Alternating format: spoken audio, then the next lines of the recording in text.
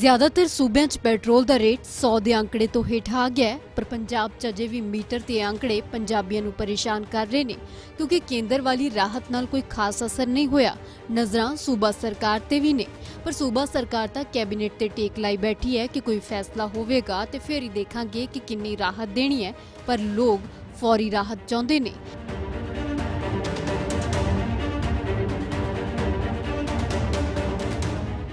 ਪਹਿਲਾਂ ਇਹ ਜਾਣ ਲਵੋ ਕਿ ਪੰਜਾਬ 'ਚ ਕਿੱਥੇ ਪੈਟਰੋਲ ਦਾ ਰੇਟ ਕਿੰਨਾ ਹੈ। ਅੰਮ੍ਰਿਤਸਰ ਦੇ ਵਿੱਚ ਪ੍ਰਤੀ ਲੀਟਰ ਪੈਟਰੋਲ ਦਾ ਰੇਟ 105 ਰੁਪਏ 79 ਪੈਸੇ ਹੈ ਤੇ ਲੁਧਿਆਣਾ ਦੇ ਵਿੱਚ ਵੀ 105 ਰੁਪਏ 55 ਪੈਸੇ। ਪਟਿਆਲਾ ਦੇ ਵਿੱਚ ਪ੍ਰਤੀ ਲੀਟਰ ਪੈਟਰੋਲ ਦਾ ਰੇਟ 105.53 ਰੁਪਏ ਹੈ। ਫਰੀਦਕੋਟ ਦੇ ਵਿੱਚ ਪੈਟਰੋਲ ਦਾ ਰੇਟ 105 ਰੁਪਏ 68 ਪੈਸੇ ਹੈ। ਮੋਹਾਲੀ ਦੇ ਵਿੱਚ 106.16 ਰੁਪਏ ਪ੍ਰਤੀ ਲੀਟਰ ਪੈਟਰੋਲ ਵਿਕ ਰਿਹਾ ਹੈ, ਜਦੋਂ ਕਿ ਫਾਜ਼ਿਲਕਾ ਦੇ ਵਿੱਚ 105.87 ਰੁਪਏ ਅਤੇ ਮੋਗਾ ਦੇ ਵਿੱਚ 105.95 ਪੈਸੇ। ਸੈਂਟਰ ਸਰਕਾਰ ਨੇ ਜਿਹੜੇ ਪੈ- ਘਟਾਏ ਆ ਜਿਹੜੀ ਐਕਸਾਈਜ਼ ਡਿਊਟੀ ਘਟਾਈ ਆ ਸਟੇਟ ਵੀ ਘਟਾਵੇ ਤਾਂ ਵੀ ਹੋਰ ਵਾਧਾ ਹੋਏਗਾ। ਮਤਲਬ ਨਾਰਮਲ ਜਿਹੜੀ ਪਬਲਿਕ ਹੈਗੀ ਆ ਉਹਦੇ ਵਾਸਤੇ ਬੈਟਰ ਬੈਟਰਮੈਂਟ ਹੈਗੀ ਆ ਇੱਕ ਹਿਸਾਬ ਦੀ।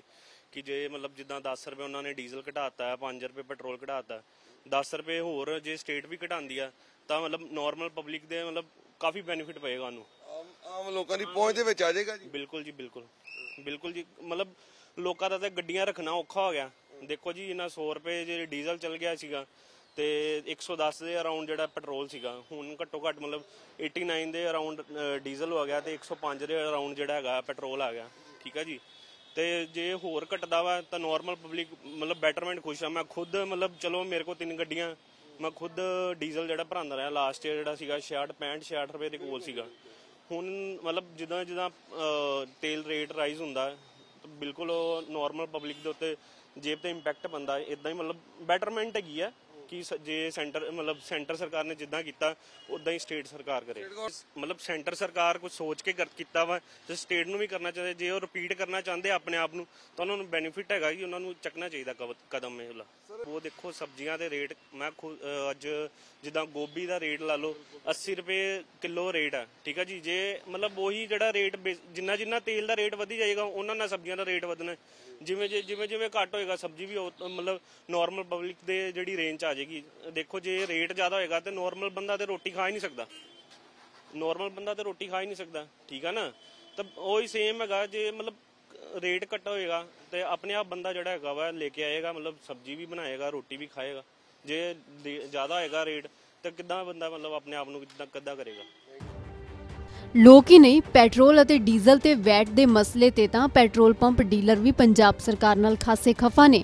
25 ਅਕਤੂਬਰ ਨੂੰ ਤਾੜਨਾ ਵੀ ਕਰ ਚੁੱਕੇ ਨੇ ਕਿ ਜੇਕਰ ਗੁਆਂਢੀ ਸੂਬਿਆਂ ਦੀ ਤਰਜ਼ ਤੇ ਡੀਲਰਾਂ ਦਾ ਕਮਿਸ਼ਨ ਨਾ ਵਧਾਇਆ ਤੇ ਵੈਟ ਨਾ ਘਟਾਇਆ ਤਾਂ ਅੰਦੋਲਨ ਲਈ ਤਿਆਰ ਨੇ। 7 ਤੋਂ 21 ਨਵੰਬਰ ਤੱਕ ਸਵੇਰੇ 7 ਵਜੇ ਤੋਂ 5 ਵਜੇ ਤੱਕ ਹੀ ਪੈਟਰੋਲ ਪੰਪ ਖੋਲਣ ਦੀ ਚੇਤਾਵਨੀ ਦੇ ਚੁੱਕੇ ਨੇ ਤੇ ਜੇਕਰ ਮੰਗਾਂ ਨਾ ਮੰਨੀਆਂ ਗਈਆਂ ਤਾਂ ਪੰਪ 22 ਨਵੰਬਰ ਨੂੰ ਪੂਰਾ ਦਿਨ ਬੰਦ ਰਹਿਣਗੇ। ਡੀਲਰਸ ਨੇ ਵੈਟ ਘਟਾਉਣ ਅਤੇ ਕਮਿਸ਼ਨ ਵਧਾਉਣ ਦੀ ਮੰਗ ਕੀਤੀ ਹੈ। ਗੁਆਂਢੀ ਸੂਬਿਆਂ ਮੁਕਾਬਲੇ ਪੰਜਾਬ 'ਚ ਵੈਟ ਜ਼ਿਆਦਾ ਹੈ ਤੇ ਪੂਰੇ ਪੰਜਾਬ ਦੇ ਵਿੱਚ 334 ਦੇ ਕਰੀਬ ਪੈਟਰੋਲ ਪੰਪ ਨੇ ਜਿੱਥੇ ਪ੍ਰਦਰਸ਼ਨ ਕਰਨ ਦੀ ਚੇਤਾਵਨੀ ਦਿੱਤੀ ਗਈ ਹੈ।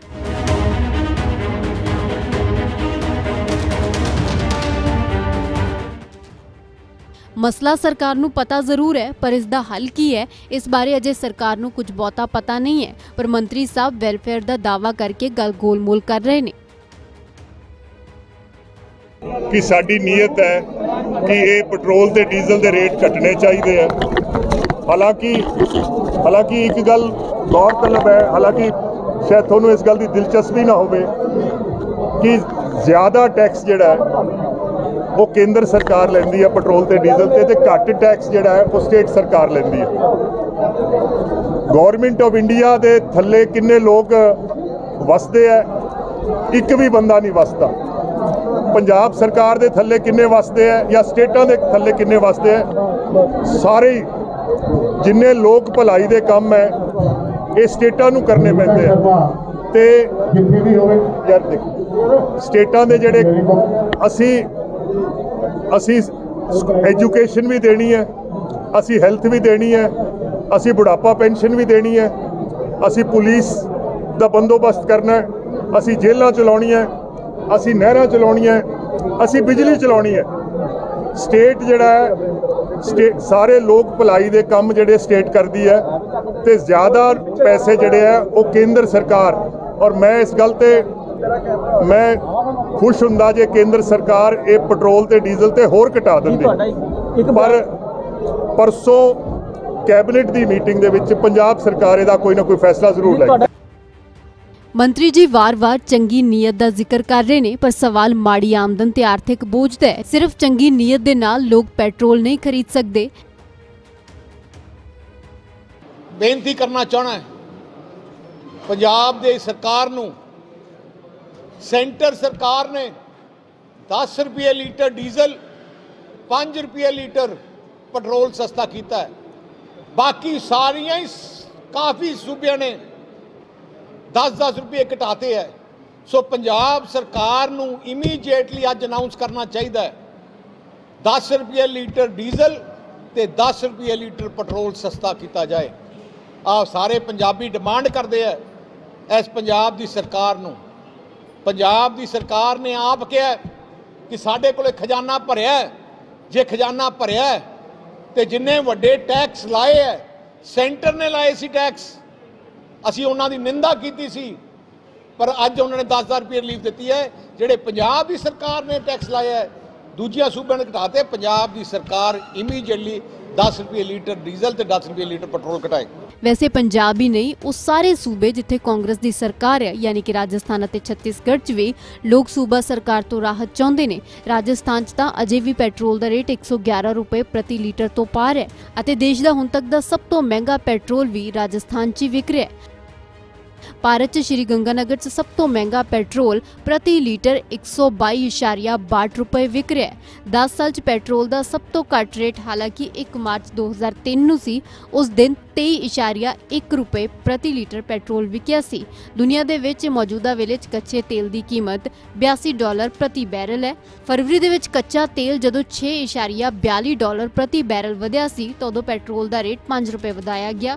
ਅਪ੍ਰੈਲ ਦੇ ਵਿੱਚ ਕੱਚੇ ਤੇਲ ਦੀ ਕੀਮਤ 1.33 ਡਾਲਰ ਪ੍ਰਤੀ ਬੈਰਲ ਘਟੀ ਸੀ ਤਾਂ ਉਦੋਂ ਪੈਟਰੋਲ ਦਾ ਰੇਟ ਸਿਰਫ 16 ਪੈਸੇ ਘਟਾਇਆ ਗਿਆ। ਜੁਲਾਈ ਦੇ ਵਿੱਚ ਕੱਚੇ ਤੇਲ ਦੀ ਕੀਮਤ 1.56 ਡਾਲਰ ਵਧਾਈ ਗਈ, ਤਾਂ ਪੈਟਰੋਲ ਦਾ ਰੇਟ 3.3 ਰੁਪਏ ਪ੍ਰਤੀ ਲੀਟਰ ਵਧਾ ਦਿੱਤਾ ਗਿਆ। ਪਰ ਜਦੋਂ ਅਗਸਤ ਦੇ ਵਿੱਚ ਕੱਚੇ ਤੇਲ ਦੀ ਕੀਮਤ 3.73 ਡਾਲਰ ਘਟੀ, ਤਾਂ ਪੈਟਰੋਲ ਕੰਪਨੀਆਂ ਦੇ ਵੱਲੋਂ ਪੈਟਰੋਲ ਪ੍ਰਤੀ ਲੀਟਰ ਸਿਰਫ 35 ਪੈਸੇ ਹੀ ਘਟਾਇਆ ਗਿਆ। ਯਾਨੀ ਕਿ ਜਦੋਂ ਕੀਮਤ ਵੱਧਦੀ ਹੈ, ਤਾਂ ਪੈਟਰੋਲ ਕੰਪਨੀਆਂ ਰੇਟ ਵਧਾਉਣ ਦੇ ਵਿੱਚ ਬਿਲਕੁਲ ਹਿਚਕਿਚਾਹਟ ਮਹਿਸੂਸ ਨਹੀਂ ਕਰਦੀਆਂ। ਪਰ ਜਦੋਂ ਕੱਚੇ ਤੇਲ ਦੀ ਕੀਮਤ ਘਟਦੀ ਹੈ, ਤਾਂ ਰਾਹਤ ਪੈਸਿਆਂ ਦੇ ਵਿੱਚ ਦਿੱਤੀ ਜਾਂਦੀ ਹੈ। ਪੈਟਰੋਲ ਅਤੇ ਡੀਜ਼ਲ ਨੇ ਕਈ ਮਹੀਨਿਆਂ ਤੋਂ ਜਨਤਾ ਨੂੰ ਇਉਂ ਹੀ ਕੌੜੇ ਹੰਝੂ ਰਵਾਏ ਹੋਏ ਨੇ, ਕਿਉਂਕਿ 35 35 ਪੈਸੇ ਕਰਕੇ ਕਦੋਂ ਪੈਟਰੋਲ ਦੇ ਰੇਟ 'ਚ 35 ਰੁਪਏ ਤੋਂ ਵੀ ਵੱਧ ਦਾ ਇਜ਼ਾਫਾ ਹੋ ਗਿਆ ਤੇ ਜਨਤਾ ਦੇਖਦੀ ਰਹਿ ਗਈ।